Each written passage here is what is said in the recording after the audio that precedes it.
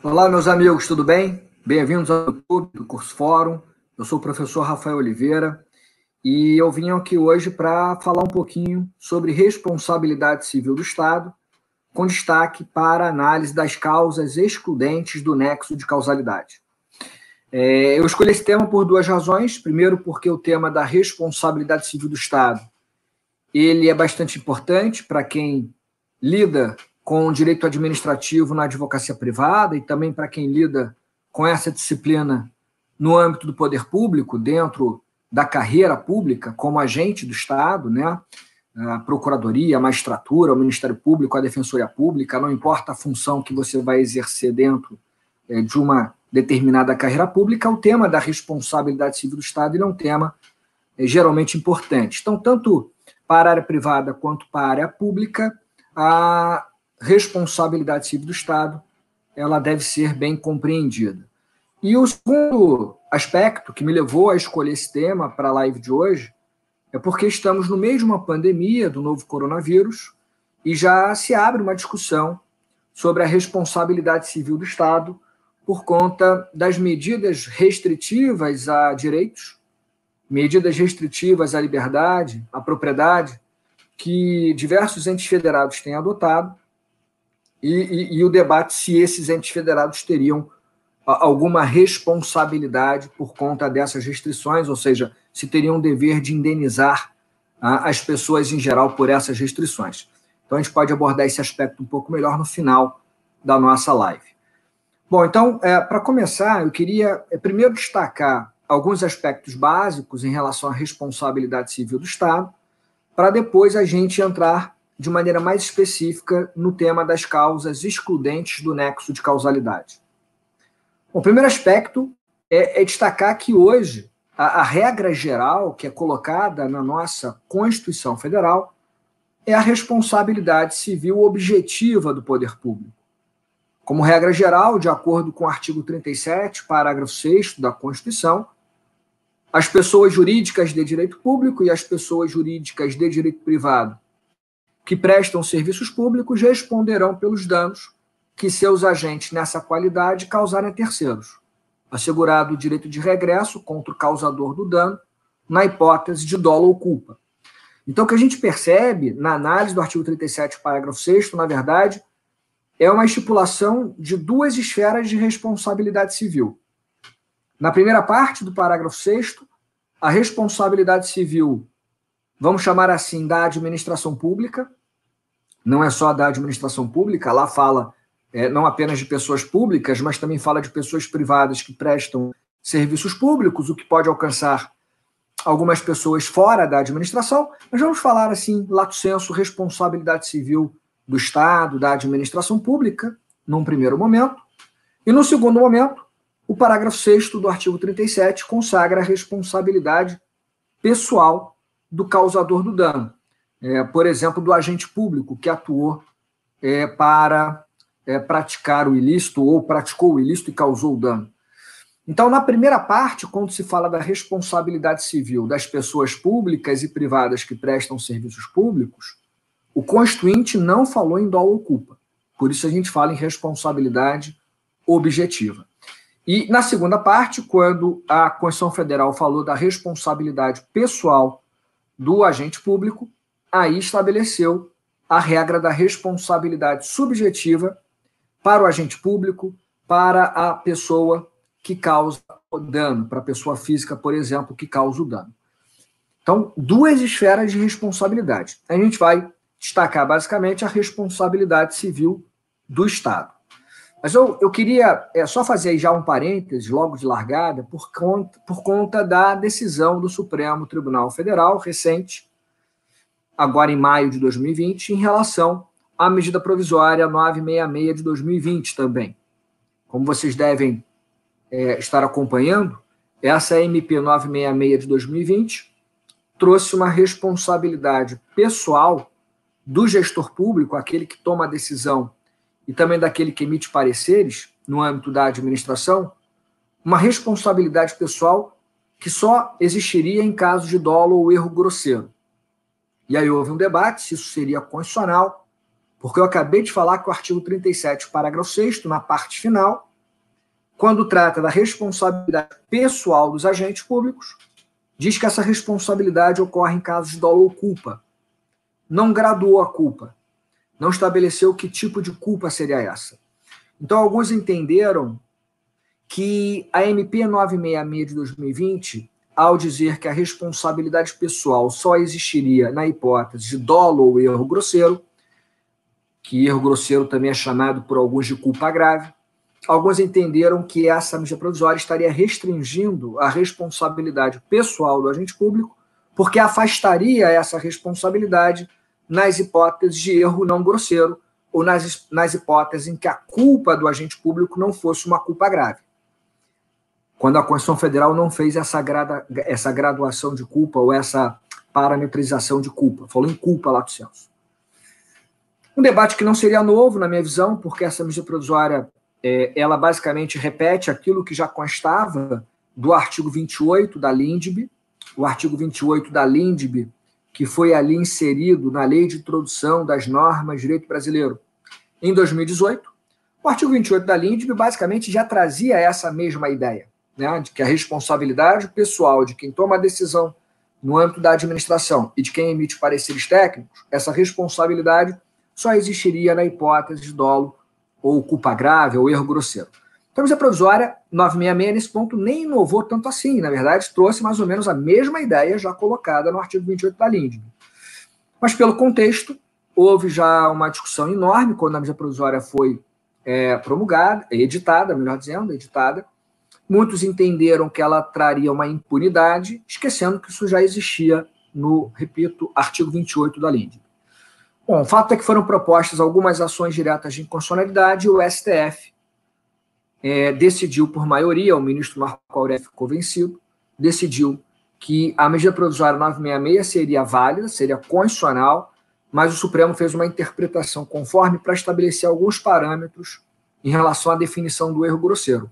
Mas, em princípio, valeria, então, essa previsão da MP 966, que, repito, é, traz a mesma ideia da LINDB no seu artigo 28, ou seja, que a responsabilidade pessoal ela só ocorreria na hipótese de dolo ou culpa grave ou erro grosseiro. E, e, e só para é, acrescentar ainda um outro dado importante, lembrar também aqui que o Supremo Tribunal Federal é, consagrou a chamada teoria da dupla garantia já há algum tempo, na sua jurisprudência, ao interpretar o artigo 37, parágrafo 6 da Constituição. Né? O Supremo Tribunal Federal tem entendido, é, não sem polêmica, o STJ tem decisões do contrário, alguns tribunais também vão ter é, decisões é, diversas ou diferentes, mas o STF tem afirmado a consagração no artigo 37, parágrafo 6 da Constituição, da teoria da dupla garantia. E o que, que significaria isso? significaria que eh, nós teríamos nessa norma constitucional duas garantias diversas. Uma garantia da vítima de ser ressarcida perante o poder público, e aí a vítima poderia responsabilizar o poder público, lato senso, de maneira objetiva.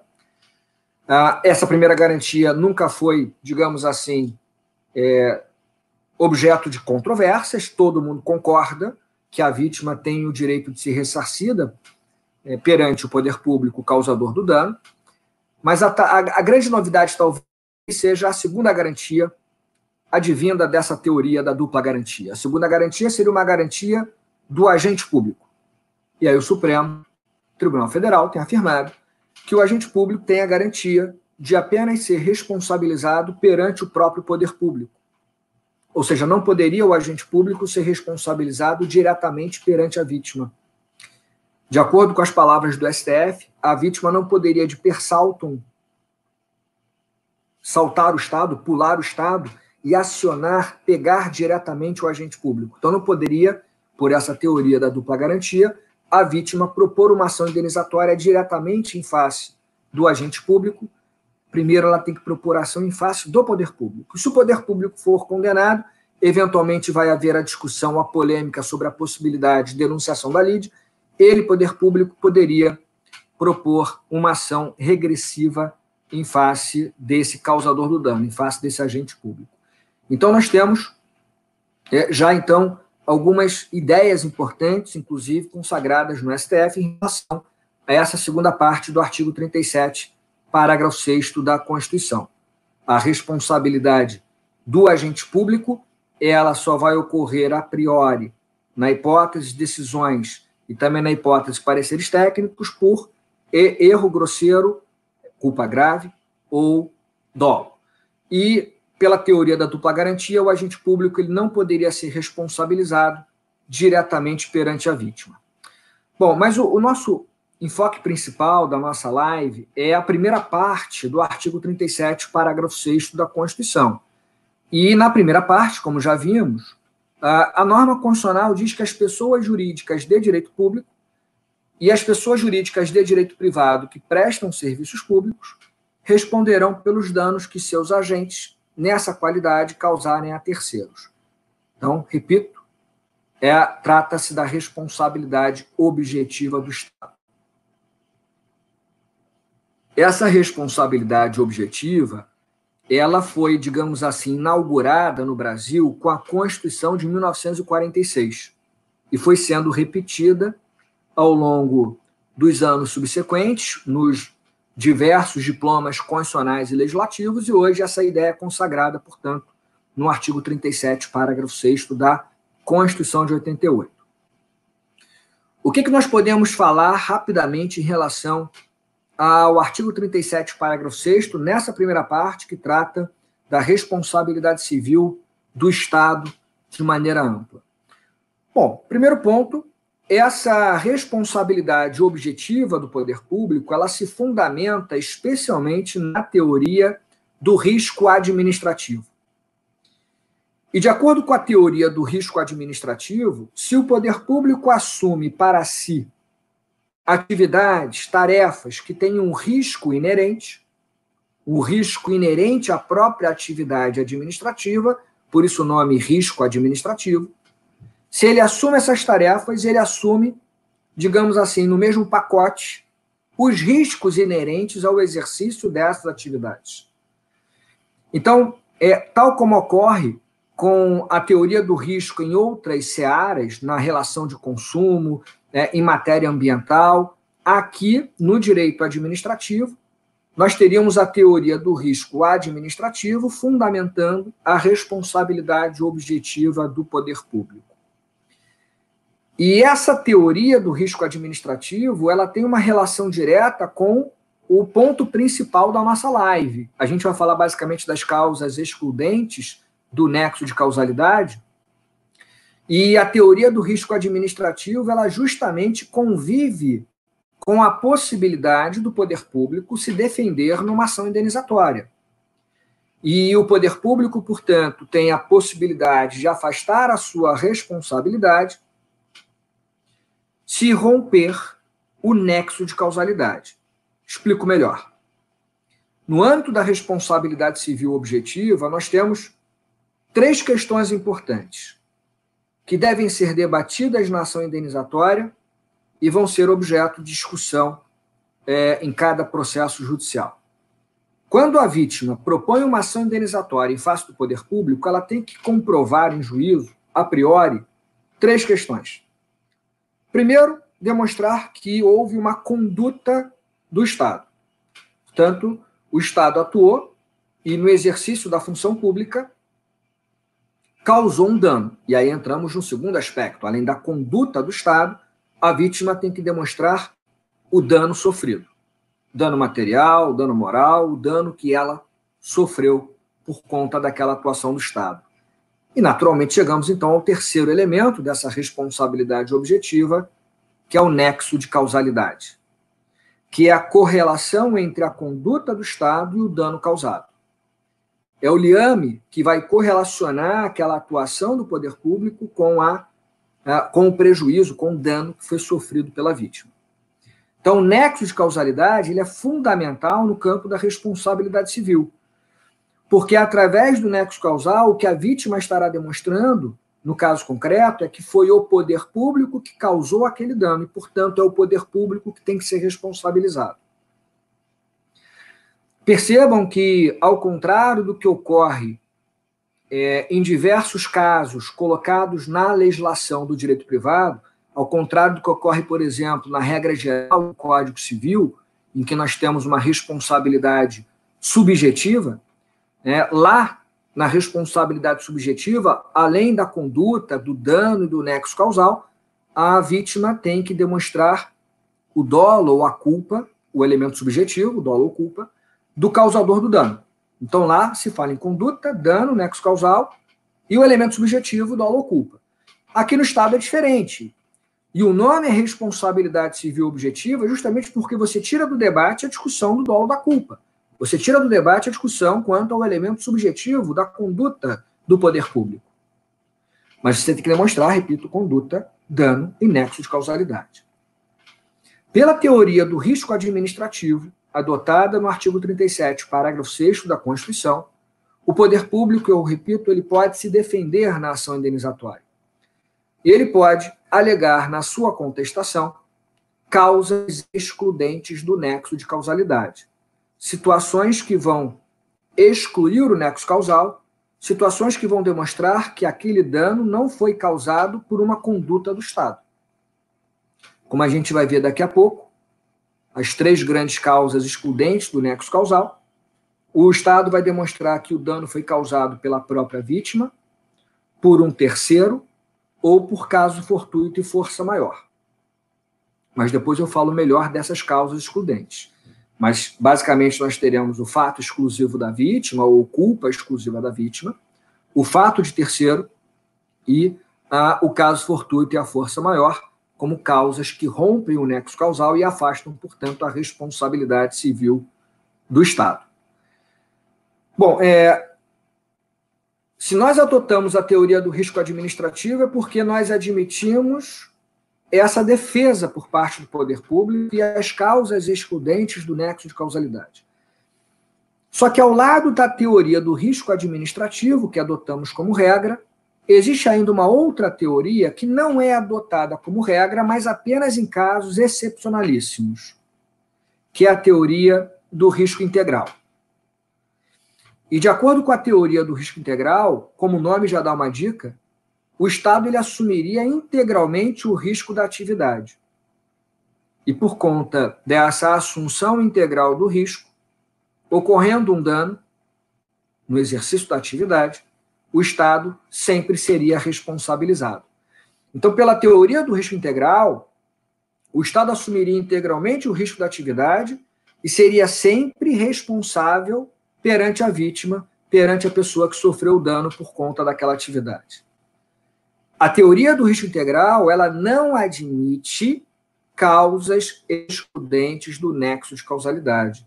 Não admite, portanto, causas que venham afastar a responsabilidade do Estado. Perante a vítima, o Estado seria responsabilizado.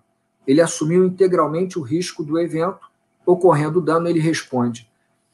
Nada impede que o Estado, mesmo no risco integral, depois proponha uma ação regressiva contra o causador do dano, mas perante a vítima, ele seria sempre responsabilizado. Então, a grande diferença é essa: na teoria do risco integral, não se admite causas excludentes do nexo causal, e na teoria do risco administrativo, que é adotada como regra no Brasil, é possível causa excludente do nexo de causalidade. Como eu chamei a atenção, a teoria do risco integral ela só é adotada em casos muito excepcionais.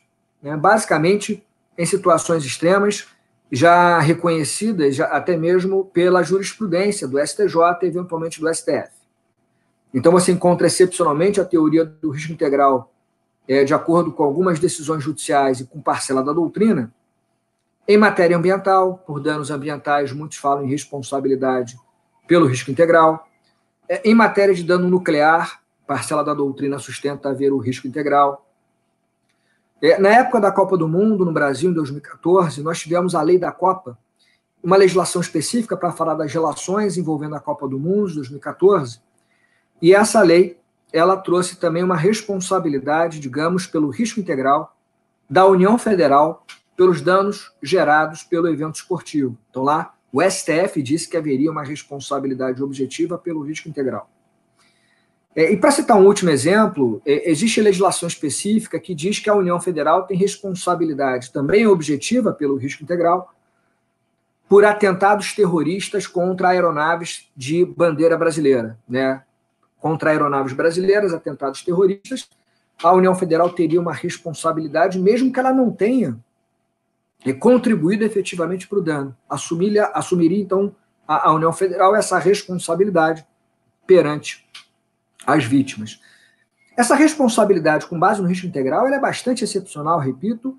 É, para muitos, é, é, é, ela tem que ser evitada. O, o, professor José dos Santos Carvalho Filho, por exemplo, fala que ela é uma monstruosidade jurídica, e realmente você está trazendo responsabilidade para alguém que não atuou, ou melhor dizendo, que não tem uma, uma conduta relacionada diretamente ao dano, muitas vezes. Então, é uma situação extrema que deve ser evitada e só pode ser admitida, repito, em situações excepcionais. Mas voltando para a regra, nós adotamos, na nossa responsabilidade objetiva do Estado, a teoria do risco administrativo, que admite as causas excludentes do nexo causal, e o Estado, portanto, se for acionado em juízo, tem como se defender rompendo o nexo causal e afastando a sua eventual responsabilidade. Mas eu chamo a atenção para o fato de que não é apenas a teoria do risco administrativo que justifica a responsabilidade objetiva do Estado. Nós temos também a teoria que eu cito é, no meu livro, é, e alguns autores também fazem menção a ela, é uma teoria menos citada, se você olhar para a doutrina de um modo geral, mas é uma doutrina também citada, é uma teoria também citada por alguns autores. Eu menciono ainda a teoria da, da, da repartição dos encargos sociais. Né? A ideia de que é, o poder público, quando é responsabilizado e paga a indenização à vítima, é, nesse momento, a rigor a rigor, é, o poder público está pagando com dinheiro, com recursos que vêm do orçamento, e esse orçamento, ele, para sua constituição, ele pressupõe a participação com arrecadação financeira de todos nós, de toda a sociedade. Então, quando o Estado paga uma indenização numa ação de responsabilidade civil, a rigor quem está pagando essa indenização indiretamente é toda a sociedade. Então, de alguma maneira, a, o nosso pacto constitucional é de que a sociedade que tem o bônus com a atuação do poder público, ela tem que ter o ônus de indenizar aquele indivíduo ou aquelas pessoas que sofreram danos desproporcionais por conta da atuação do Estado. E eu faço questão é, de citar essa teoria, até porque hoje muitos autores, e eu me incluo também nessa doutrina, muitos entendem que pode haver até mesmo responsabilidade civil do Estado por ato lícito. Ou seja, mesmo que o Estado atue de acordo com a ordem jurídica, mesmo que ele atue licitamente, se essa atuação lícita causar danos desproporcionais para um indivíduo, é, na minha visão, abre-se o caminho para eventual indenização. Para quem é meu aluno, sabe do exemplo clássico que eu cito em sala de aula, né? Eu cito em sala de aula o exemplo clássico de uma norma, de uma lei municipal, que determina o fechamento de vias públicas da cidade para passagem de veículos. E aí, numa dessas vias da cidade, tem um posto de gasolina, por exemplo. Com o fechamento das vias para passagem de veículos, agora só passam pedestres, naquela via que vai ser fechada, onde tem um posto de gasolina, o que vai acontecer? O posto de gasolina vai ter que fechar, não vai ter mais veículo para ser abastecido. A atuação do Estado ela foi, a princípio, lícita, válida, é, é dentro, está dentro das atribuições do poder público municipal, especialmente, determinar é, as regras nas vias públicas, ou seja, as vias que vão ser destinadas a pedestres, vias que vão ser destinadas a, a, aos veículos, etc. Te, teoricamente, estaria dentro da sua alçada. Não haveria nenhum ilícito aí, pelo menos a priori. Mas mesmo que essa atuação seja válida, na minha visão, abre-se o caminho para a responsabilidade civil do poder público e o dever de indenização, nesse meu exemplo, ao proprietário do posto de gasolina, porque apesar de ser uma atuação lícita do poder público, causou um dano desproporcional para esse particular. Então, a sociedade que se beneficia com aquela atuação do Estado, porque vai ter mais áreas de lazer, menos poluição, naquelas ruas onde agora só passam pedestres, essa sociedade, como um todo, vai ter que indenizar aquele que sofreu um preço, que pagou um preço desproporcional, sofreu um dano né, anormal. E essa indenização é feita, ou essa implementação de compensação é feita através do sistema de responsabilização civil do poder público. Pois bem, então, é, nós temos é, no campo da, da responsabilidade civil objetiva do Estado a teoria do risco administrativo como a principal teoria que justifica essa responsabilidade, e muitos ainda citam a teoria da repartição dos encargos sociais também como uma outra teoria que justifica essa responsabilização objetiva. Mas o ponto central da nossa aula é falar do nexo causal. Como vimos, para a responsabilidade objetiva do Estado, a vítima tem que demonstrar a conduta do Estado, tem que narrar a conduta do Estado, demonstrar o dano, comprovar o prejuízo, o dano material, o dano moral, e demonstrar o nexo de causalidade, ou seja, demonstrar aquela relação de causa e efeito entre a conduta do Estado e o dano que foi por ela vítima suportado. Então, sem o nexo causal, você não tem como relacionar aquela conduta do poder público com o dano sofrido pela vítima. É fundamental, portanto, o nexo de causalidade para a responsabilização do poder público. E no próprio direito privado e também no direito administrativo, já há estudos né, bastante famosos sobre nexo de causalidade. Nós temos basicamente três teorias que procuram explicar o nexo de causalidade. Há um debate em relação a qual teoria teria sido adotada pelo nosso ordenamento jurídico é, brasileiro. Mas uma primeira teoria de nexo de causalidade é a teoria da equivalência das condições, ou a teoria da equivalência dos antecedentes. E de acordo com essa teoria, né, uh, todos os antecedentes que contribuíram de alguma maneira para o dano é, são equivalentes. Todas aquelas condutas anteriores que de alguma maneira levaram ao dano, elas seriam equivalentes e todas as pessoas que praticaram essas condutas deveriam ser responsabilizadas. Então, se todos os antecedentes contribuíram de alguma maneira para o dano, de forma mais intensa ou menos intensa, não importaria. Todas elas seriam, no final das contas, equivalentes. E todos os responsáveis por essas condutas seriam responsabilizados. A, a lógica é a seguinte: se você tirar uma dessas condutas antecedentes, hipoteticamente falando, é, e ao tirar uma dessas condutas de maneira hipotética, o resultado ele não teria acontecido, então essa a conduta antecedente ela deve ser considerada para fins de responsabilidade e você está responsabilizando, então, digamos assim, em cadeia todas as pessoas que contribuíram é, de alguma maneira para o evento danoso. E a crítica a, essa teoria é que você teria um regresso exagerado. Por exemplo, é, o exemplo clássico que se traz nessa crítica é no caso do homicídio. É, você chegaria num regresso à responsabilidade daquele que fabricou eventualmente é, o metal que foi utilizado para a, é, fabricação da arma de fogo ou da munição que foi utilizada nessa arma de fogo. Você pegaria todas as pessoas que trabalharam naquela cadeia até chegar ao evento danoso, naquela cadeia causal. Então, essa teoria ela é muito criticada e ela não é adotada né, no nosso ordenamento jurídico. A segunda teoria que procura explicar o nexo de causalidade é a teoria da causalidade adequada. Né? E, de acordo com essa teoria, é, ela vai considerar a causa do evento danoso aquela que, em abstrato, teoricamente falando, seja mais adequada para a produção do dano.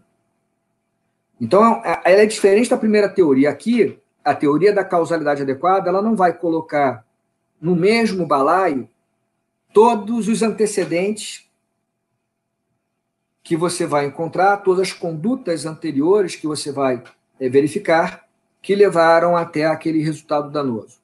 Nesse caso, na teoria da causalidade adequada, em abstrato, vai se considerar como causa do dano aquela que é a mais adequada para a sua produção.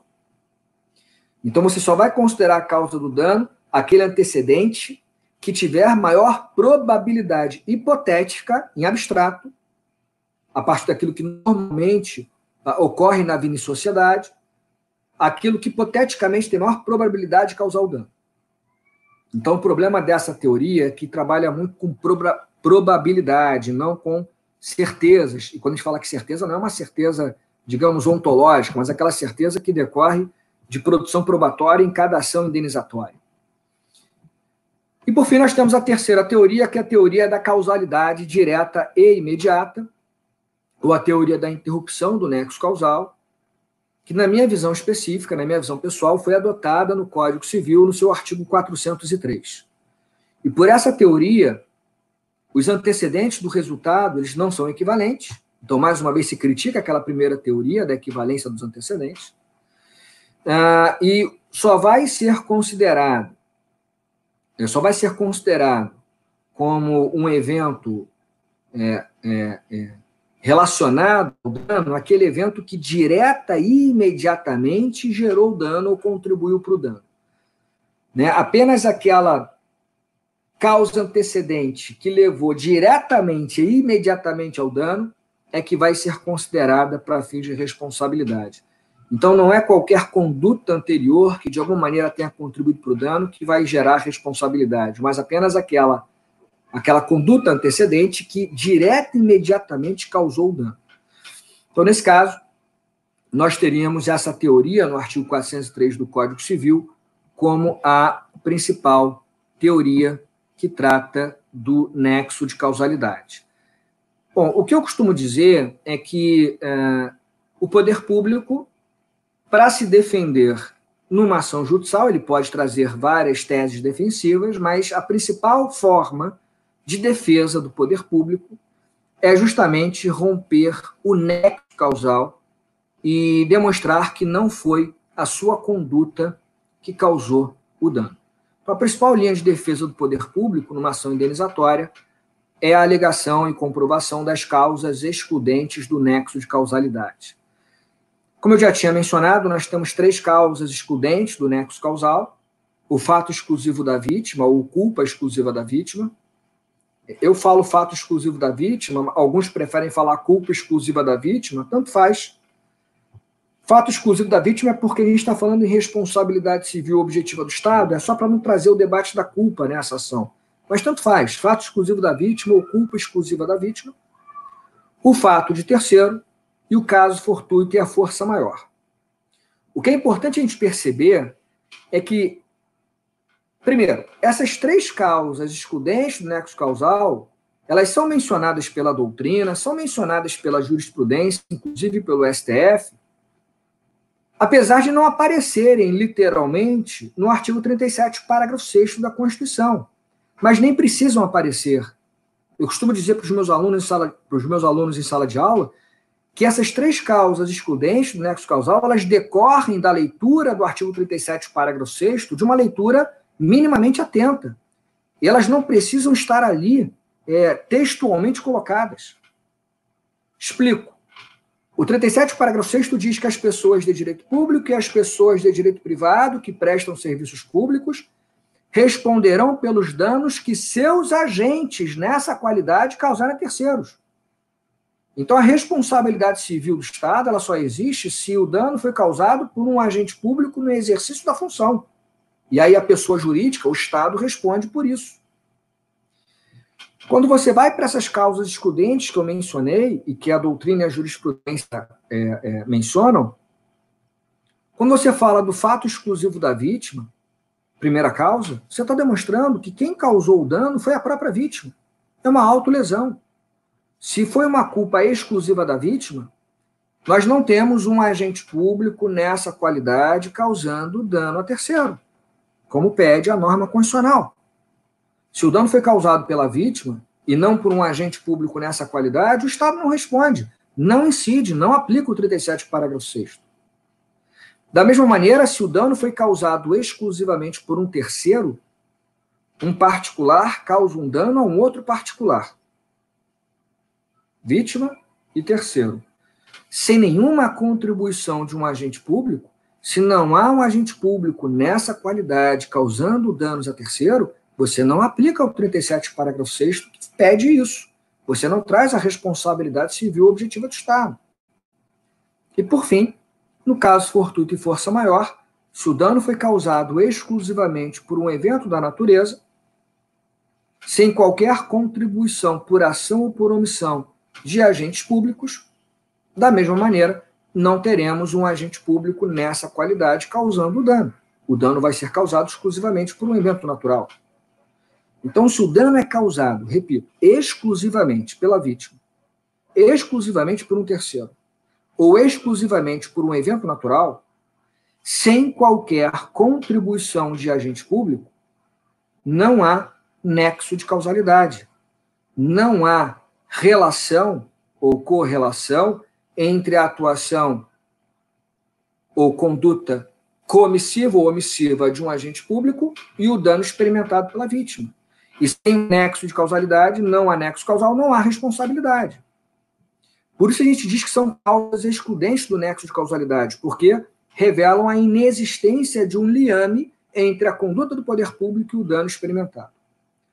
O que nós temos é que tomar cuidado com isso que eu acabei de alertar a vocês. Ou seja, só vamos considerar essas causas como causas excludentes se o dano foi causado exclusivamente pela vítima, pelo terceiro ou pela natureza. Porque, do contrário, se você verificar no caso concreto que o agente público contribuiu com sua ação ou com, ou com sua omissão para o dano, de alguma maneira, se houver essa contribuição do poder público, ainda que a vítima tenha também contribuído para o dano, ainda que o terceiro tenha contribuído para o dano, ainda que a natureza tenha contribuído para o dano, se ficar demonstrado ou comprovado que o agente público também contribuiu com sua ação ou omissão para o dano, não teremos causas excludentes do nexo causal. Teremos com causas. A vítima causou dano, mas o agente público contribuiu para isso também. O poder público, lato senso, contribuiu para isso também. O terceiro causou dano, mas o poder público também contribuiu para o dano. A natureza causou dano, o poder público também contribuiu, não se fala mais em causa excludente. Há nexo causal porque houve alguma contribuição do agente público nessa qualidade para o dano. O Estado responde.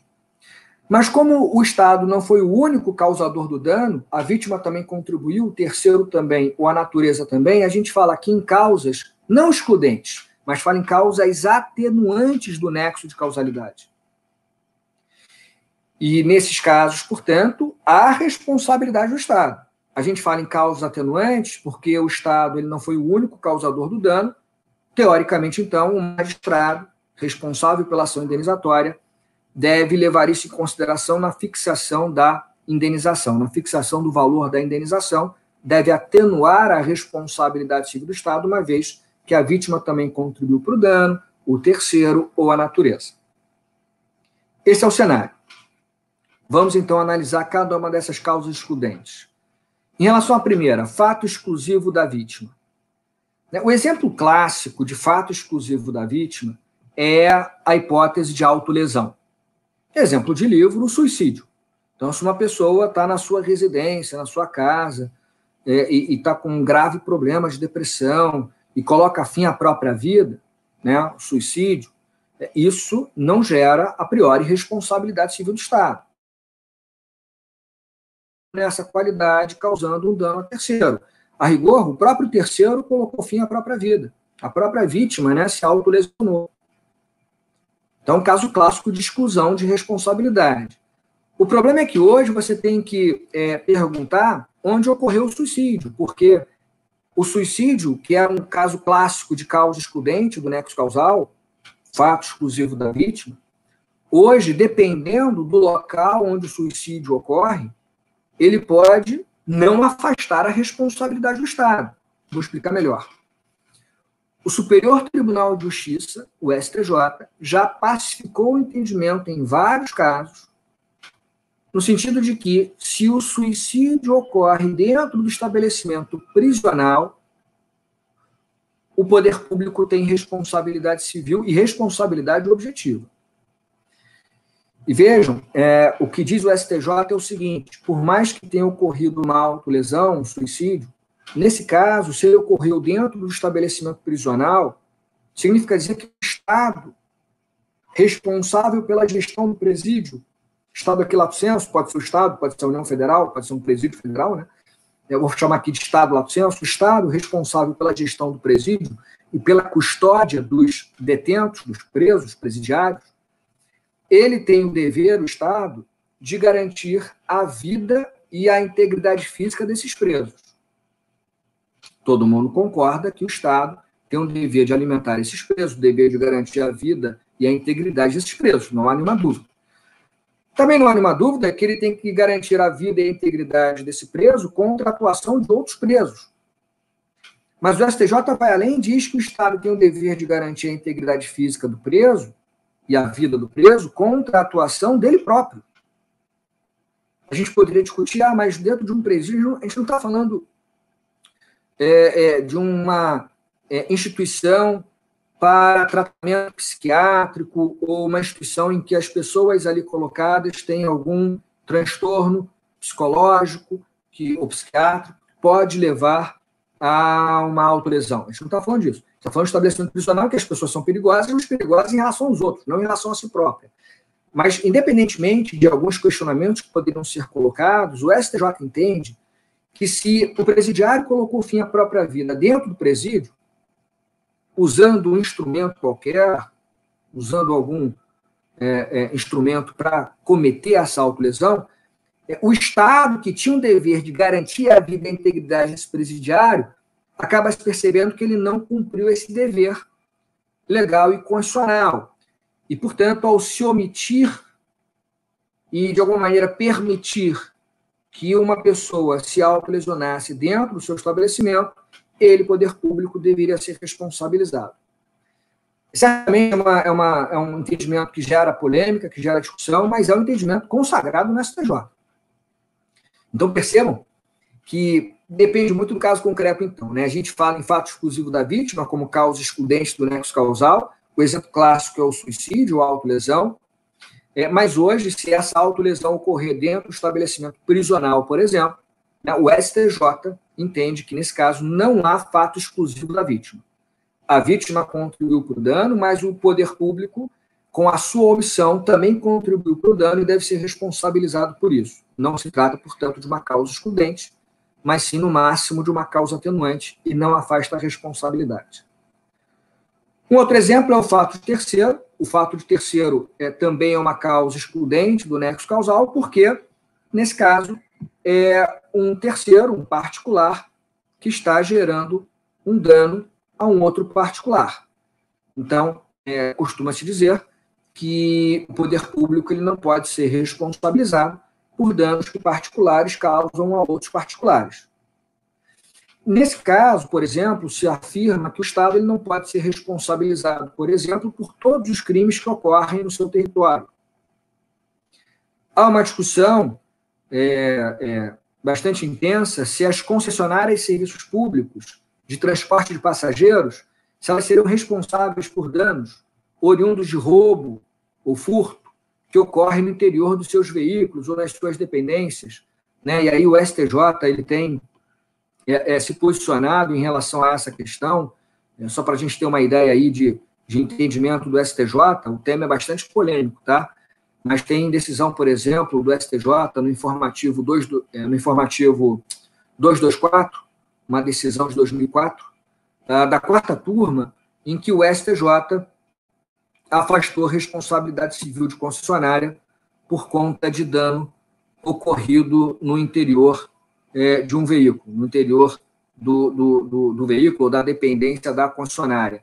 É um tema bastante polêmico, você encontra decisões em sentido contrário, mas o fato é que, no campo teórico, se o dano é causado por um terceiro e o poder público não contribui para o dano, não há nexo causal, não há responsabilidade. Eu costumo dar um exemplo clássico que eu vivenciei no âmbito da Procuradoria do município do Rio de Janeiro, na minha atuação como procurador, já faz muito tempo, um caso bastante antigo e já transitado em julgado.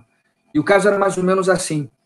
é, uma pessoa vinha trafegando com seu veículo pela via da cidade e um morador de rua, de forma repentina, é, resolve arremessar uma barra de ferro contra o veículo e acerta lá a cabeça do motorista e causa, séria, causa sérias lesões.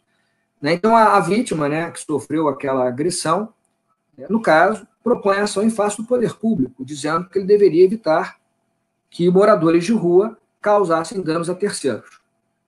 E no caso concreto, a sentença foi de improcedência, justamente sobre esse argumento de que houve um fato de terceiro. Um morador de rua causou um dano a um outro particular e o poder público, portanto, não contribuiu diretamente, imediatamente para esse dano. É, a gente pode trazer uma visão contrária se a gente colocar um dado diferente nesse caso, nessa questão. Se a gente comprovar, por exemplo, nesse caso, se ficar comprovado nesse caso, que aquele morador de rua, naquele local, sempre agride as outras pessoas, as pessoas que por ali passam, se isso ficar demonstrado, ou seja, que era um fato notório, que diversas notícias crimes foram apresentadas nas delegacias, nas ouvidorias do poder público, o poder público tinha ciência daquilo e nada fez, aí me parece que poderia se pensar no nexo de causalidade. Ou seja, você teria agora previsibilidade e evitabilidade por parte do Estado. Previsibilidade porque o poder público, se o fato era notório, sabia que naquele local tinha um morador de rua que cometia ilícitos, causava danos. Tinha previsibilidade. E tinha evitabilidade. O poder público poderia ter adotado medidas para evitar isso e não atuou. Se ele faz isso, a omissão dele se ele deixa de atuar, na verdade, a omissão dele, é, diretamente, imediatamente, vai é, causar o dano, vai contribuir para o dano. Então, me parece que poderia se pensar nessa responsabilidade se, no caso concreto, ficar demonstrado que o poder público sabia daquela situação e nada fez. Fora isso, a gente está falando de omissão genérica. E não dá para o Estado evitar que um particular cometa ilícito em relação a outro particular a todo momento. Não tem como o Estado é, é, ficar como um vigia em cada pessoa do território nacional. Né? Então não haveria nexo causal a priori. Fato de terceiro rompe o nexo causal. Se for causa exclusiva, se for um dano causado exclusivamente pelo terceiro. Mas se for é, um fato causado, um dano causado por um terceiro com a contribuição por ação ou por omissão do Estado, aí, repito, o Estado responde também na medida da sua contribuição. E para fechar, o caso fortuito e a força maior, a terceira causa excludente. Então, fato exclusivo da vítima, fato de terceiro, e agora o caso fortuito e a força maior.